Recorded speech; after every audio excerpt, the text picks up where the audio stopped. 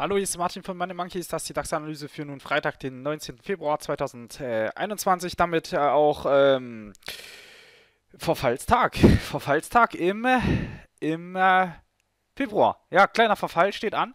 Tatsächlich jetzt schon der, ja, Wahnsinn, da ist schon fast wieder Ende Februar dann auch an.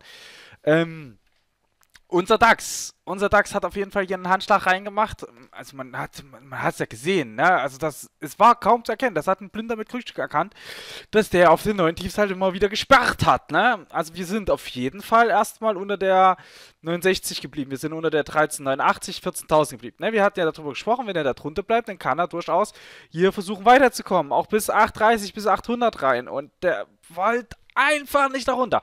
Immer wieder von unten das hochgedrückt, richtig hochgedrückt auch. Also, ich muss ganz ehrlich sagen, nach den ersten paar Kerzen, die da hochkamen, mich hätte das nicht gewundert, wenn er gleich bis 14,50 durchgelaufen wäre. Also, der hat das so schön gedreht unten und so eine schöne Drehung reingesteckt. Also, das war wirklich fast verwunderlich, oder es war verwunderlich, dass der oben gar nicht weiter rausgekommen ist, so wie der sich unten aufgedreht hat.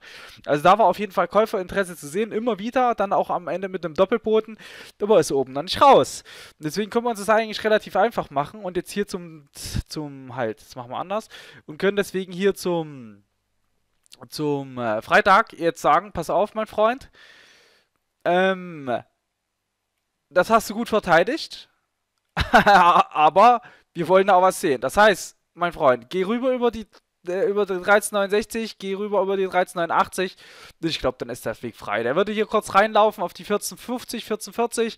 Das wird so Station 1 und gegebenenfalls vielleicht sogar dann die äh, 14, äh, 14100 bis 14120. Ne? Also das wäre jetzt durchaus erreichbar. Würde ich jetzt hier so ransetzen. Das hier oben können wir eigentlich weiter mitziehen. Das ist ja, das ist ja nach wie vor gültig und aktiv.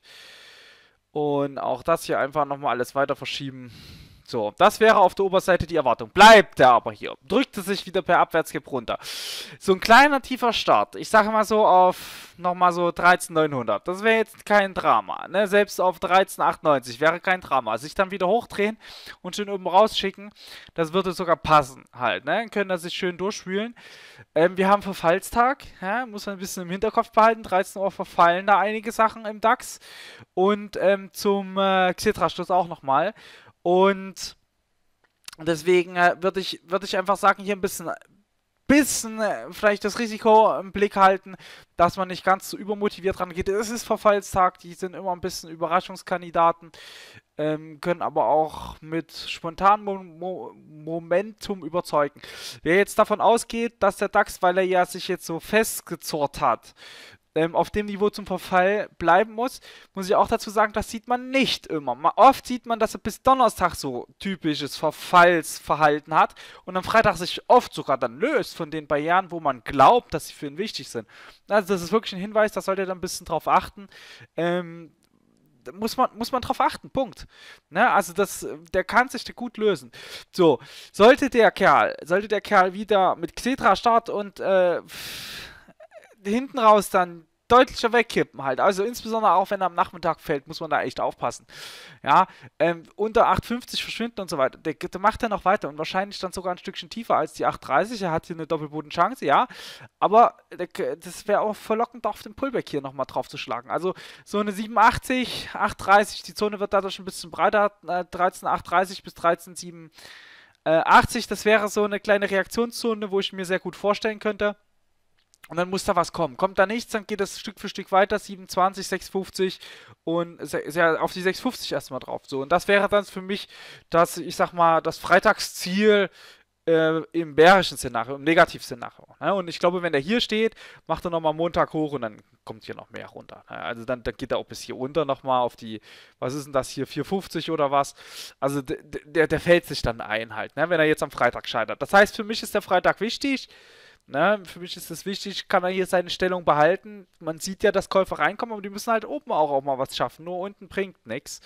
Ähm, deswegen würde ich hier einfach einen Long Trigger dran setzen. Dann natürlich ein bisschen aufpassen, ne? nicht unbedingt gleich der Erste sein. Insbesondere halt, wenn sowas auch am Nachmittag dann überlaufen wird. Ne? Ich, ich glaube, der, der, Nachmittag, wenn er so der erste Verfallsquatsch durch ist, der wird viel mehr Signalfähigkeit, äh, Tragfähigkeit auch haben. Ja. Ähm, Punkt. Punkt. Mir, mir, ist der Nachmittag einfach wichtiger, jetzt am Freitag halt. Ne?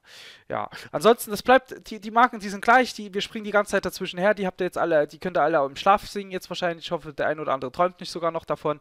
Ist die 1369, die ist wichtig, 1359, 1369 oben und unten die 1389 bis, ich sag mal, 13860 im weitesten, 13850, ne? Ähm, da spielt so die Musik. Das ist kleine Range, da hat er sich festgefahren, da muss er jetzt raus, unten oder oben weitermachen. Äh, von der Route her wäre das noch unten aktiv, aber da würde ich nicht zu viel Leine mehr geben. Also wenn der den, wenn der hier über die 68 drüber macht, äh, nee, nicht 68, 69 ist das. Wenn er über die 69 drüber macht, pff, hm, ich glaube, dann geht er an die 1440. Und wenn er sich dort gut anstellt, kann er hinten raus auch ein bisschen mehr schaffen halt. Ne? Also haben wir jetzt hier auch zwei etwa zeitlich auch gleich lang ausgeprägte Wellen stehen. Ähm, das ist schon, für mich sieht das fertig aus halt. Ne? Der muss gar nicht hier runter. Muss er nicht. Das, das reicht für mich eigentlich, für mich würde das reichen. Wenn der sich jetzt oben ein bisschen Mühe gibt, können wir schon vorstellen, dass der hier wieder zurück in die positive, positive Marktlage reingeht und ansonsten haben wir hier unten die Punkte fertig. Da haben wir jetzt so, so oft schon drüber gesprochen. Das hat sich ja alles nicht verändert. Der steckt ja auch noch genau in der Bewegung drin. Mit dem Unterschied, dass ich halt einfach sagen muss, da kommt mir zu viel rein. Halt. Da wird zu viel gekauft, immer wieder auf den Tiefs. Ähm, irgendwann knackt das Ding. Da haben die Jungs genug gekauft hier.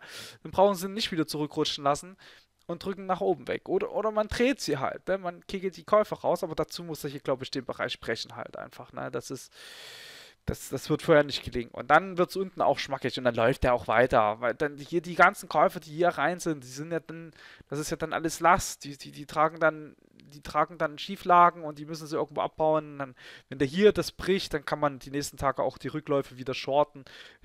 Richtung hier, sowas halt, ne? Tiefer sogar, tiefer sogar. Ja, so dem Bereich halt, ne? Aber muss erst kommen. Solange das nicht kommt, ist für mich die, die, die, die Lage noch positiv hier. Ne? Also Chartlage. Eher noch positiver Bereich mit eher der Chance aufzudrehen. Ja, ich, ich will von ihm das sehen, dass er das unten kaputt macht. Und dabei hat er sich am Donnerstag nicht, doll, nicht dolle, nicht dolle gut ähm, in Szene gesetzt. Also ich würde fast sagen, das war eher ein Punktsieg für die Bullen. Für die Vorlage, die war nach unten, wir haben ein neues Tief bekommen, er hat das nicht hingekriegt. Hat das nicht halten können. Für mich ist es eher fast sogar ein Punktsieg für die Bullen. Ähm, aber wir sind noch in der Abwärtsbewegung und wenn, ich würde es deswegen einfach an dem Bereich machen. Wenn der hier runter dreht, gerne auch nochmal ein Stück tiefer. Aber ich wäre vorsichtig, wenn der jetzt anfängt, höhere Hochs zu bauen. Ja, ich kann mir gut vorstellen, dass wir da wieder reingehen. Wir können, können mal kurz in den Tageschart reingucken und dann können wir Analyse auch schon zumachen. Hat jetzt auf dem mittleren Bollingband eine Doji-Kerze gebaut, also eine, es ist eine Uneinigkeits-, eine Unsicherheitskerze. Der Markt ist sich nicht stimmig, will er hoch, will er runter. Ähm, soll er hier drehen, soll er nicht drehen? Äh, es ist eine grüne Tageskerze geworden, das heißt, er hat höher geschlossen, als er reingekommen ist. Das ist äh, in der Abwärtsbewegung immer so ein. Hm, es nimmt halt einfach Momentum raus, ne? So, und das kann dann in dem Sinne auch schon eine Vorlage werden für eine kleine Umkehr. Gut, okay, dann brauchen wir hier auch gar nicht mehr sprechen. Interessant wird es in dem Sinne, wenn er das dann endlich mal irgendwann oben rausgetragen kriegt, sich nachhaltig über die 14.000 auch gestellt wird. Da stellt er sich zurzeit ganz schön knetendämlich an hier. Ähm, und hier unten, das bleibt dabei. Wenn die, also das sieht man hier auch wunderschön, ne, was wir im 2-Stunden-Chart gerade angesprochen haben. Wenn der die 800 fällt lässt, hier ist nicht viel. Das ist leicht durchlaufbar dann, dieses ganze Bereich hier bis, äh, bis, bis 13.4 XXX. Ne, also der kann hier, der, hier kann er schon durch, gerade durch halt, ne? Und da muss man ein bisschen aufpassen. Da muss man ein bisschen aufpassen, wenn der Bereich hier kippt. Und solange, das ist für mich auch so die Schwelle, ne? Hier drüber ist für mich noch positiv, Pullback und, und ab die Luzi Richtung 14.400 und mehr. Und äh, hier drunter wird es für mich dann negative Short, äh, negative Marktlage. Ähm, das wäre dann auch so ein Punkt, wo wir zum Beispiel unsere Elisa dann wieder verstärkt auf der Short-Seite einsetzen, ähm, die jetzt hier momentan eher auf der Long-Seite ihre Chancen sucht halt. Ne? Einfach für die Chartlage das so vorgibt. Gut, Freunde, mehr kann ich hier euch nicht zum Besten geben. Dann wünsche ich euch gutes Gelingen, viel Erfolg, einen guten Freitag und schon mal ein schönes, gutes Wochenende. Ein gutes Wochenende, sagt man das auch? Ein schönes Wochenende. Ähm, erholt euch gut. Nächste Woche wird dann spannend, wenn der Verfall weg ist, geht es dann auf einen großen Märzverfall zu das sind, das, da kommt manchmal eine ganz gute Strecke nochmal zusammen, ja. Also da kann man sich wahrscheinlich freuen, hört dann das Geschiebe ein bisschen auf, hier kommt mal ein bisschen mehr Momentum dann wieder rein halt, ne. Und wenn ich das hier so angucke, ja, möchte ich nicht ausschließen, dass das nach oben kommt. Ja, hier zack, zack, zack. Das würde schon noch passen. Wir gucken mal, wie der Freitag sich zeigt und dann sind wir schon schlauer für den Montag rein. Alles klar, ich wünsche euch Spaß, viel Erfolg. Wir hören uns morgen wieder. Nee, Sonntagabend. Bis dahin, tschö.